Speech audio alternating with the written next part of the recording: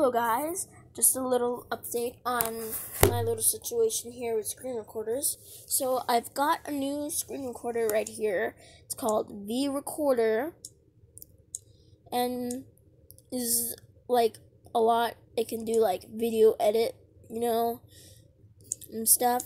But like the the one I'm most like interested about is show touches. But I don't it, I don't see developer like options, so I'm not sure what they're talking about. Uh, oh, if you do not have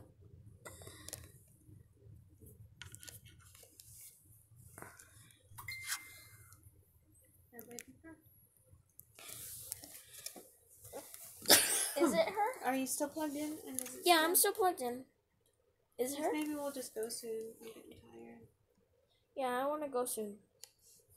I'll take a nap when we get back. Mm-hmm.